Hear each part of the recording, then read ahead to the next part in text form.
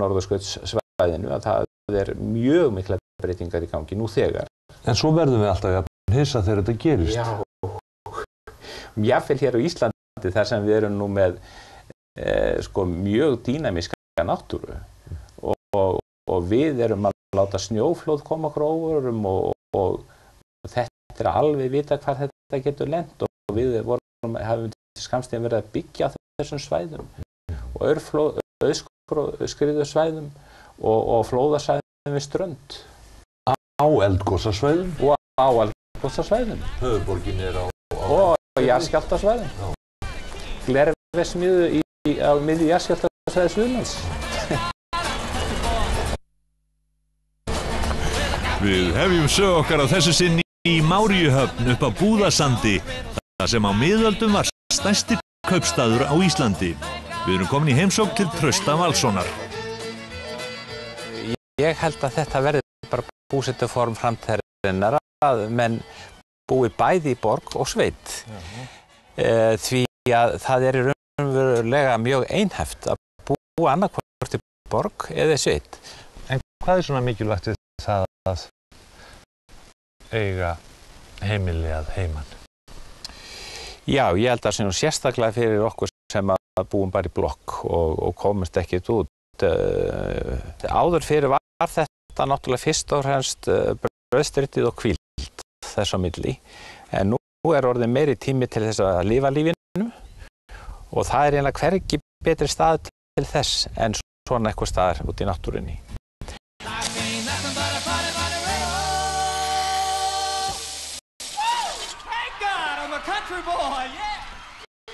Ég sé þú ert með þýður fjö hérna en þetta er nú Já, dáinn rævill. þetta kemur ör uh, sjaldan fyrir að þeir sjá sem sagt í gegnum skálan Já. og, ætla sér um og ætla sér um of. Já. Og þetta er náttúrulega, eh, það er aftur með því að börnin eru búin að búa til hér sérstakkan dýrakirkjugar upp í. Grafreit. Það eru mís og það stendur til það er á einnum hér kvílir mús. Já. Það er mikið að krossum hérna. En þetta er frægur staður. Já, hann er það. Sögufrægur. Mjög svo. Já.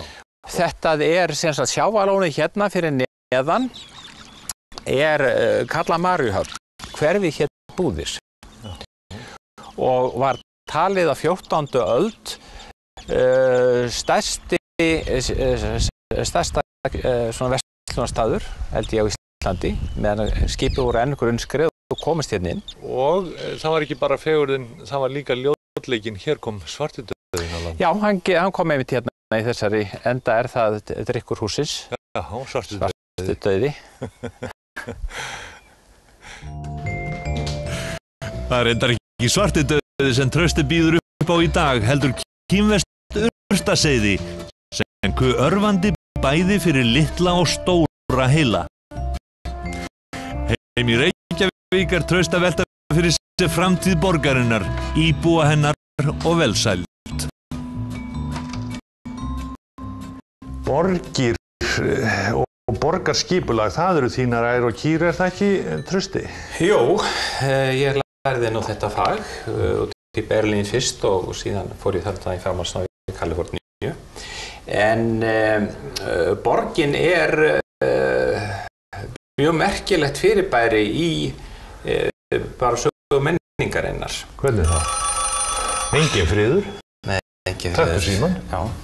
Ég heyrði þeir eru stattir hérna frá stöð 2, ég ringi sérna.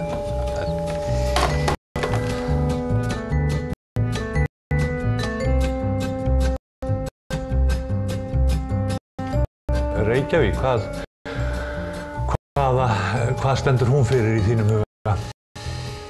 Já, ég hugsa að Reykjavík sé nú og, Ísland eh, sko mesta sérstaðan eh, er heita vatnið Já. og uh, síðan er Reykjavík að verða þekkt nokkuð út í, í heimi, skils mér, uh, vegna bara almennt líflegs andrúmslofts og uh, unga fólkið er mjög uh, kröftugt hér og, uh, og, og það fólk hefur nú hlaupið kapp í kinn við að, að mörgum eins og þessi Björko og Ólaf Eliassinni hefur gengið mjög vel á heimsmælikvarða og uh, menn eru farin að segja hvað, hvað er eiginlega með þessa litlu borg sem að er bara smáborg á, á, á alþjóðlega mælikvarða. Bær. Já, bær. Uh, hvað er það eiginlega? Menn eru að koma hérna að leita að svörum veldig því leindamáli að... En hvað getur það verið? Hvað, hvað getur þú ímyndað þér að, að, að er það, það andrúsloftið eða er það, er það tímin eða hvað, hvað er það sem getur Ég held að það sé nú örgulega mjög margt. Eitt er til dæmis velsældin hérna.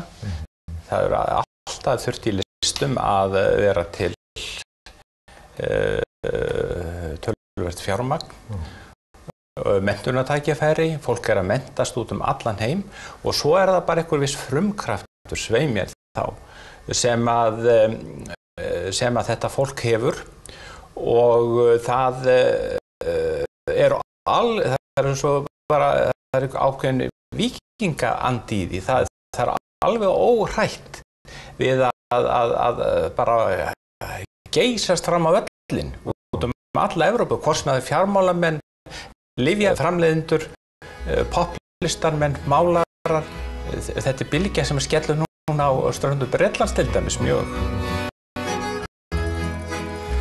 Þú ert að fara til Kaliforníu að kenna þallendum þín fræði. Hvað ætlar að segja við kanan? Já, sko, tildrögin að því eru að ég gaf þessa miklu bók út á ennsku um skipulagsögu Íslands alveg frá landnáminu fram í nútíman. Og það sem að útlendingar og, og útlenski fræðimenn sjá að þarna eru þessi fræði um það hvernig uh, fólk nefnur land, hvernig öll þessi kerfi verða til. Þetta er svo vel dokumentera, þetta hefur gerst á svo löngum tíma að, að, að, og, og ég það afmörkuður í mig og það er svo fátt sem að utan komandi sem að skekki myndina að þeir eiginlega segja að þetta sé sínismynd af því hvernig uh, sem sagt byggð og skipulag verður til.